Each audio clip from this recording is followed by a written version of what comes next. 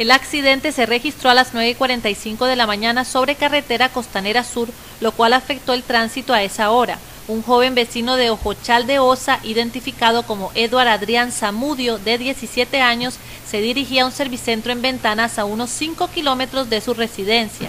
De regreso, un backhoe que era conducido por Álvaro Montero Flores venía saliendo de la ferretería Ventanas.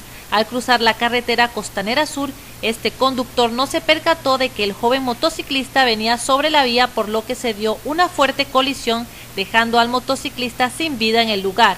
Varios testigos del accidente trataron de ayudar al joven que viajaba en la moto, pues su motocicleta se incendió con él allí. Nosotros, este, yo venía de, Ciudad Cortés, bueno, saliendo de Ojochal, cuando aquí en el, puro frente de la ferretería Ventanas eh, vi saliendo un bajop amarillo y, vi una moto que venía, como el, bueno, dicen testigos que venía de la bomba, de echar combustible.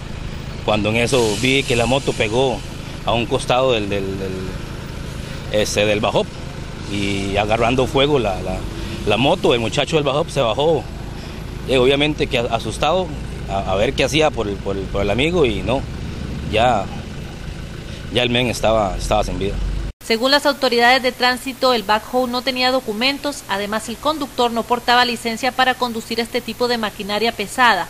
Además, el joven motociclista no llevaba chaleco de protección ni licencia de conducir. Sí, lamentablemente, este, una motocicleta que pega con el bajo, el mismo con consecuencias al fallecido de la motocicleta.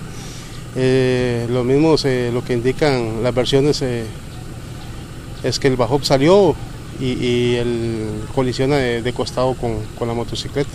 La misma en el impacto se, prende o se incendia, explota por la magnitud del, del impacto que sucedió en el lugar.